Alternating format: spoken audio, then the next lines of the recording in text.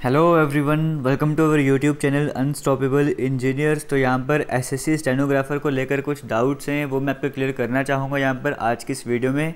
बस आपको लास्ट तक देखना होगा वीडियो को। सबसे पहले मैं आपको बताना चाहूँगा, जैसे कि हमने आपको कहा था कि हम आपको SSC stenographer grade C D की एग्ज़ाम की प्रिपरेशन करवाएँगे बट अगर स्टूडेंट्स कहेंगे तो भी तो ही मैं स्टार्ट करवाऊँगा। तो यहाँ पर कई सारे स्टूडेंट्स ने कहा था कि हाँ हम प्रिपरेशन करवा करना चाहते हैं, आप स्टार्ट करवा दीजिए। अब पहले मैं एक बार फिर से आपके कुछ डाउट्स क्लियर करना चाहूँगा, उसके बाद आप मुझे बताना क्या आप प्रिपरेशन करना चाहते हो।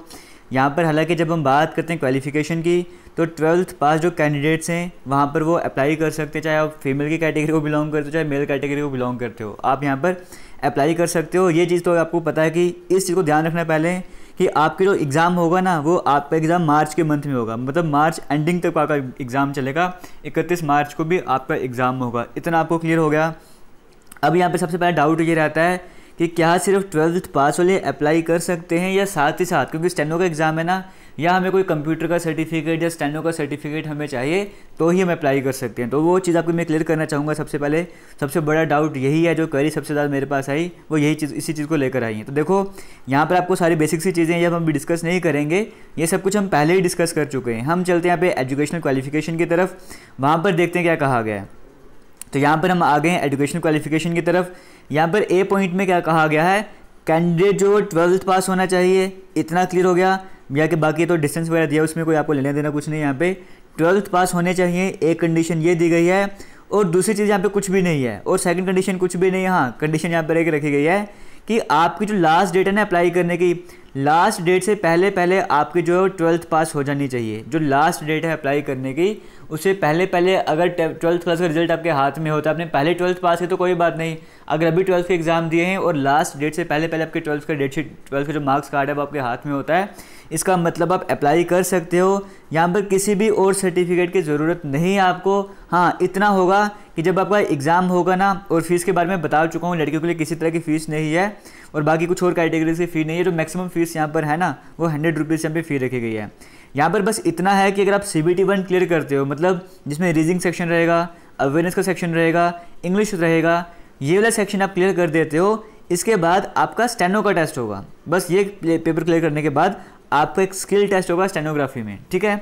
अब ये बात आती है कि क्या आपको स्टेनोग्राफी आप सीख सीख सकते हो तो सीखने तो कोई भी सीख सकता है बट कंडीशन ये रहती है आपके पास टाइम भी नफ है, आपके पास टाइम बहुत ज़्यादा अभी। मैं कहना चाहूँगा, देखो, यहाँ पर अगर आप अभी अक्टूबर का मंथ चल रहा है ना, अगर मैं पहले पेज पर लेकर आऊँ तो यहाँ पर देखो आपका एग्ज़ाम जो होना ना सीबीटी जो होना है, वो मार्च के एंडिंग में जाके होना है। यानी कि देखो, अभी आपको नवंबर का मंथ है। मान के चलो, आप नवंबर में कोचिंग स्टार्ट करते हो। नवंबर का मंथ है, दिसंबर है, जनवरी फेबररी मार्च, और रिज़ल्ट आते आते आपका मई का मंथ हो जाएगा। और मान के चलो, जो स्किल टेस्ट होगा, आपको जून के मंथ में होगा। तो भी एक, दो, तीन, चार, पाँच छः सात, आठ महीने का टाइम आपके पास है। सात से आठ महीने का टाइम तो भी आपके पास है। अगर आप नवंबर के फ़र्स्ट से ही अपना बैच स्टार्ट करते हो स्टेनो वाला तभी आपके पास सात से आठ महीने का टाइम है।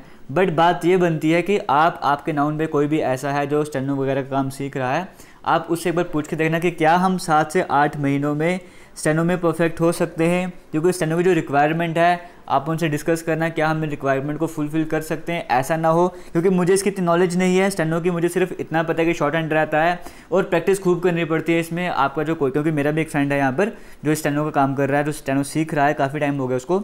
तो स्टेनो का ये रहता है कि आपको करना भी पड़ता है कोचिंग में भी जाते हो, घर पे आके भी प्रैक्टिस करनी पड़ती है, अगर आप उतना टाइम दे सकते हो, तब भी इस एग्ज़ाम को देना, वरना नहीं। सबसे पहले आप ये क्लियर करना किसी से भी कि क्या हम सात से आठ महीने में परफेक्ट हो सकते हैं स्टैंडो में। अगर हो सकते हैं तो ही आप इस एग्ज़ाम को, इस एग्ज़ाम के लिए अप्लाई करना, वरना अप्लाई करने का कोई बेनिफिट नहीं है, क्योंकि अगर आपका स्किल टेस्ट पास नहीं होगा तो मान के चलो आपको यहाँ पे जॉब नहीं लगनी है। सी बी तो आप क्लियर कर लोगे। सिर्फ़ इसलिए आप स्टैंडो सीखोगे कि मुझे जॉब वगैरह करनी है, और सात आठ महीनों में क्या होता है क्लियर भी ना हो स्टैंडो वगैरह। मैं आपको यहाँ पे डीमोटिवेट करने की कोशिश नहीं कर रहा हूँ, मैं सिर्फ़ आपको बताने की कोशिश कर रहा हूँ, क्योंकि मुझे इसकी नॉलेज नहीं है। आप सिर्फ़ इतना पता करना कि सात से आठ महीनों में हम परफेक्ट हो सकते हैं। अगर हो सकते हैं तो ही आप कोर्स स्टार्ट करना तो ही आप इस एग्ज़ाम की प्रिपरेशन करना। तो ही आप इसके लिए अप्लाई करना। वरना कई सारे और फॉर्म भी आएँगे, आप वहाँ पर भी अप्लाई कर सकते हो, ठीक है? ये जो मेजर जो मेजर था ना, आपका डाउट वगैरह था, वो यही था, इसी चीज़ को लेकर था। अभी भी किसी तरह का डाउट होगा ना, आप वीडियो के कमेंट सेक्शन में बताना।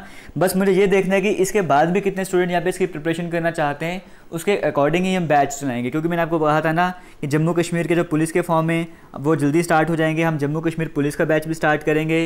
हो सकता है अभी जेके बैंक का भी स्टार्ट कर जल्दी बैच यहाँ पर मैं। क्या पता तब तक कोई और फॉर्म निकल जाए, उसका बैच भी हम स्टार्ट कर देंगे। तो ये बैच हम तभी स्टार्ट करेंगे यहाँ जब हमारे पास होगा कि हाँ काफ़ी स्टूडेंट्स हमारे पास हैं जो इंटरेस्टेड हैं, जो अप्लाई करना चाहते हैं। उसी पर्पज़ से आज मैंने आपके कुछ डाउट्स क्लियर करने की कोशिश किया है। अब भी अगर आप इस एग्ज़ाम की प्रिपरेशन करना चाहते हो तो वीडियो के कमेंट सेक्शन में बताना। फिर हम एक नया प्लान बनाकर आपके सामने आएँगे। किसी भी तरह का डाउट होगा तो फिर से बोलूँगा। कमेंट सेक्शन में ज़रूर पूछना। हमारे टेलीग्राम वगैरह आप सभी को पता ही है जेके लेटेस्ट इन्फो के नाम से है। वहाँ पर जाकर आप ज्वाइन कर सकते हो। थैंक यू जय हिंद।